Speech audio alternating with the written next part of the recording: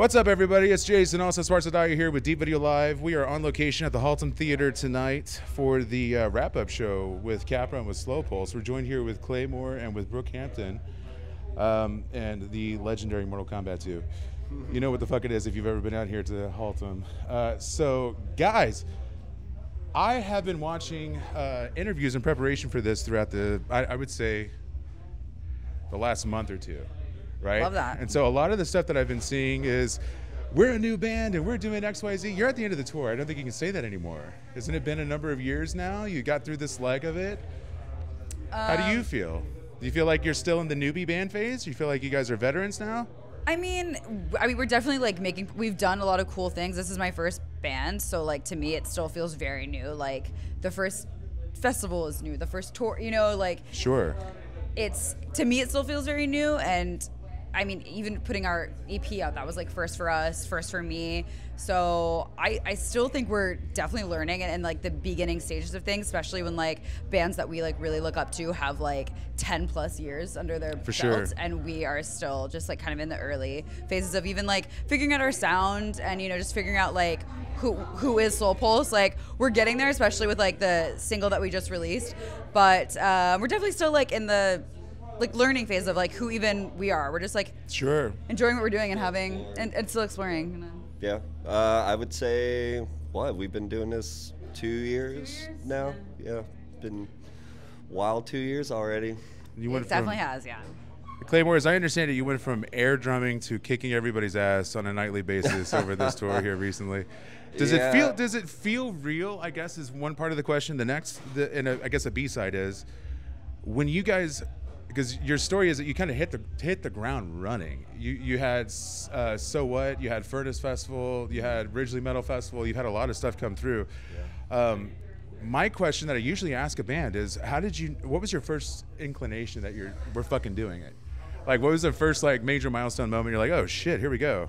I mean, honestly, I'm, I'm not even gonna lie to you. So our first show in Austin, like we That'd be the emo night. It was the emo. Yeah, Yeah. you've done your research. Yes, it was emo night, but it like went off. Like I was like, like we thought it was gonna be cool and whatever, but it was just like the reaction was It was a highly anticipated show. Uh, yeah, highly anticipated. Like just the reaction. Like so many people came out, and we were like, whoa, and just like all the feedback, we were like, okay, like.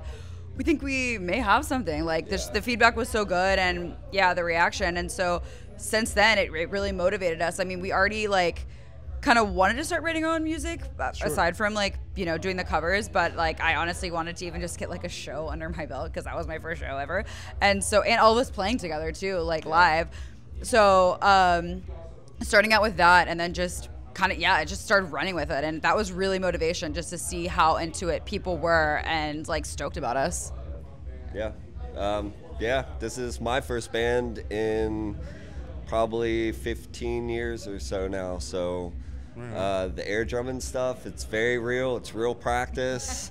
uh, um, I Yeah, I'm a black belt at kung fu, bro. Like, I, no, I'm just- Um, yeah, I mean, if you know, even though I put all those years aside not playing, it's still like something I'm pretty passionate about, and it was uh, it was a little bit of a task to get back into it, but um, I mean, we he rocks he yeah he's he's he's fucking great so. Um, we're going to be, you know, Deep Video Live has been here for 10 years. We're going to be here for quite some time. And I'm really looking forward to catching you guys when you go on tour again.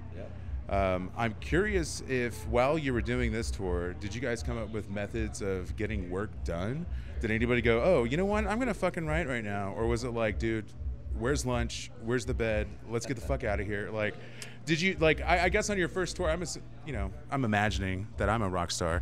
On my first tour, I'm probably just trying to find out logistics, not really finding a way to meditate and create. But is that something that was on your plate as you guys went through this travel or something you're thinking about for the future? Oh my god! If you would have seen me during the Escuela tour, so that was like the longest run or tour. That was like our first tour. Like everything else we've done with like Evergreen Terrace and other bands have been just like runs where it's been like a five, six like shows. But then Yeah. Was seventeen, Nice. and I was literally like, can I do this like with my boy you know just like holding up. I was a, a basket case. I like didn't talk didn't drink. I was just like so like professional. And then this time around after we d- did the 17 days i was like i did it. I was so happy and let loose like towards the end. And then this run i was like oh i'm just letting loo- like i know i can do it. So i just felt like way more confident and like Right could on. be myself and not such a like ooh like freak about it. But what do you think? I mean, you've overcome many hurdles. like you, it's it's crazy. You know, it's it's it's awesome watching you. Like I'm behind you playing Yeah, and yeah. just yeah, it's great. It, yeah, it's awesome. Uh, I'll get a little uh, gushy here for you. Uh, so over here behind, uh, for those of you watching at home and fans for us here in Dallas, my daughter, uh, eldest daughter, Kira, is here with me on production tonight. Uh, we took her out to Ridglea Theater to see the show for the first time, and today I introduced my eight-year-old daughter to Slow Pulse for the first time. Because here in the last couple of weeks, she started doing some outlandish fucking metal screams. I'm like, girl, where did this come from? She'll be like, I need nachos. I'm like, what the fuck? start him young and so yeah. and I'm like, okay, so you want to be in a metal band? She's like, no, she's very girly. She's a So very girly girl, right? And that's Yeah. why we that's why we showed out the video today. I was like, uh, this lady actually has her own business, uh, Blush and Bangs. So I mean, there's opportunities. She's like, don't force me to be in a band, Dad. But I wonder, have you had moments on your tour uh, where you've felt that in real time with real young women who are Oh. just dealing with identity and opportunity and options? that is literally like what I my favorite part about this. Um, I could like get emotional even saying it because I'm such an emotional person, but.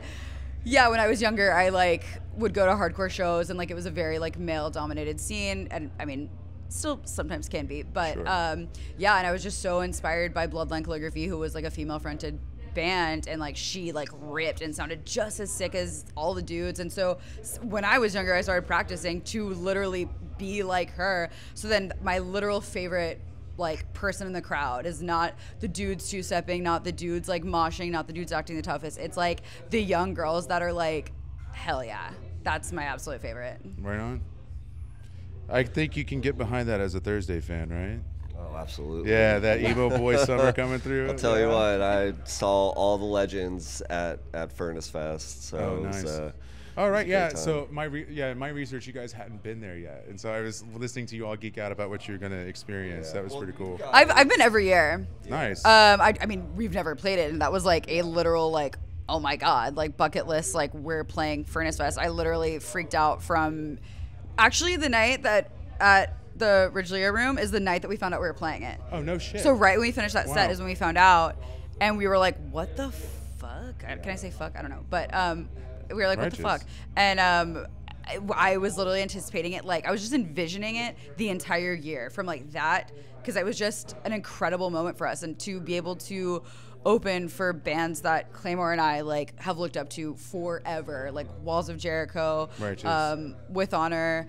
Um, it was just surreal. Yeah, it was a great time. Um, it was my first time ever being at a festival like that. So these guys going every year, you know, it, it was a whole experience for me. And Yeah. um, Newbie at the convention, bro. yeah, Speaking of conventions, I do have a question for you. Maybe we don't have all members of the band present, so you should feel free to throw somebody under the bus.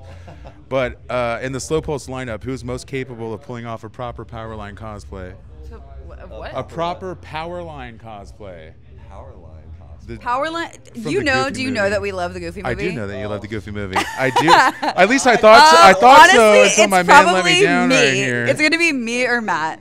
Right me or on. Matt like love like we'll just like be li- on the road driving and then like one of us will play like out on the open road or like a power line song. Yeah. And actually right before we played Furnace to pump us up in the car, we listened to a Goofy movie soundtrack. Oh, we're like checking in. We were checking in and, And we they were were like, "Are you listening?" To yeah, they were like, "Are you listening to Goofy movie?" We were like, "You bet your fucking ass we are." We like, l- we just love it. infinite diversity and infinite combinations right there, folks. Well, okay, so you're out of tour. You're going to get a little downtime, but I know what kind of a city Austin is, and I know you're going to have some hometown folks that would love to see you again. Is there any chance that we'll see you playing in Austin before you go on tour again? Yeah, we're playing like this hasn't we haven't shared it yet, but yeah, we're gonna be playing um, some of our homies in this band called Tilt. It's their EP release, and they wanted us on the bill, so Hell we yeah. are playing that uh, next Friday at Sunny's backyard. Yeah, hell yeah. Yep. And then um, this is where you can plug or talk about anything at all. Any new writing you might have coming up, or uh, any, act, well, I've got cheesy stories, horror stories from the tour. You know, um, like your random bullshit questions, but I'd rather just save those for some other time because I'm I know we're gonna have conversations again in the future, and I'd love to just let you guys have a chance to let it all hang out. You're wrapping down this tour. Obviously, you got another show coming up in about a week. Anything you want to say to the folks that uh, are learning and continuing to learn about soul, uh, slow pulse over the We're writing new music constantly. Yeah, we're still writing. Um, I think it's going to be a little bit different than uh, our first EP and, and just where we started because again, going to go back to it, we're we think we're we are a new band, so we're just progressing and we're gonna just keep writing heavy shit. Hell yeah, man.